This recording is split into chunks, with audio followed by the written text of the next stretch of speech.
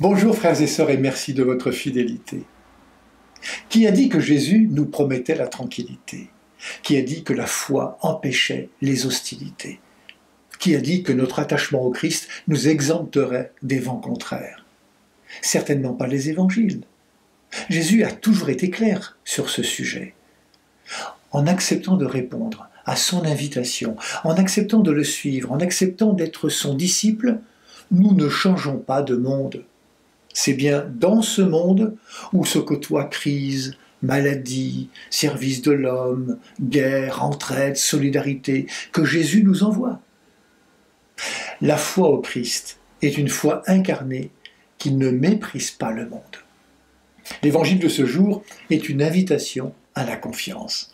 Par trois fois, Jésus dit ne craignez pas. Et il ajoute, vous valez bien plus qu'une multitude de moineaux.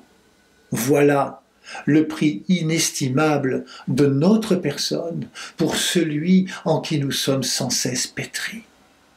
Pierre Claverie, qui fut évêque d'Oran et assassiné en 1996, disait dans une retraite qu'il prêchait Croire, c'est d'abord un élan de confiance qui nous porte à miser notre vie sur Dieu et pour nous Jésus-Christ. Vivre de l'Évangile amène parfois les disciples que nous sommes à être signes de contradiction.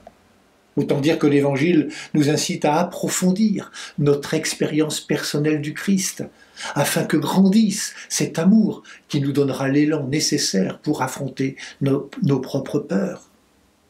La vérité dont il s'agit avec Jésus celle pour laquelle il est mort, cœur de son enseignement, réside en ceci, il n'y a qu'un commandement, l'amour de Dieu de tout son cœur, de toute son âme, de toute son intelligence, de toute sa force, et l'amour du prochain.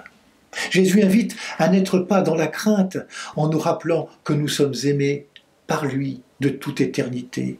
Vous savez, ce savoir aimer, c'est le rempart puissant contre la peur. Faisons nôtre la prière d'Antoine Chevrier.